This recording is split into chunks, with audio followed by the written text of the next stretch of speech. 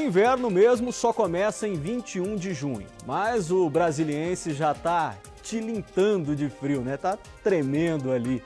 Muita gente está sem casaco e já começa a pesquisar preços para comprar roupas quentinhas. A expectativa do comércio é de aumento de 4% nas vendas.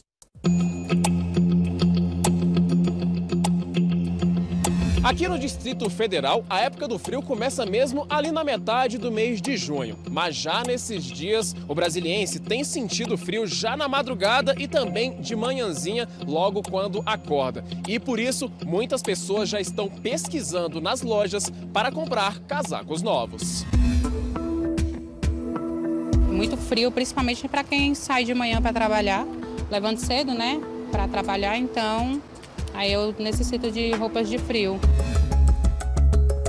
E olha, não é só casaco não, viu? Mantas, luvas, cobertores, todos esses itens vão ser muito procurados aí pelos brasilienses. Pelo menos esta é a expectativa do comércio, que as vendas aumentem 4% em relação ao ano passado. Para isso, os brasilienses devem gastar em média 135 reais. O comércio varejista do Distrito Federal está mais otimista com as vendas no inverno este ano que poderá crescer 4% contra 3% no período do ano passado.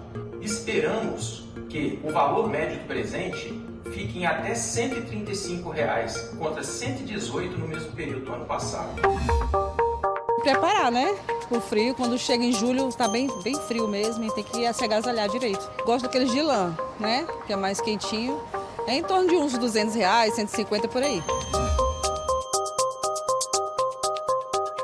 Esse ano, o DF já registrou 9,6 graus lá no Gama. No ano passado, a capital teve um recorde histórico, registrando apenas 1,4 graus em apenas um único dia. E por isso, falando aqui do meu caso, eu já estou com o meu casaco para nesse ano não passar frio. Frio pra caramba, né? Mais tipo de noite que pega muito sereno. Tá precisando cortar um, é, comprar um corta-vento. Vim aqui no shopping pra procurar um.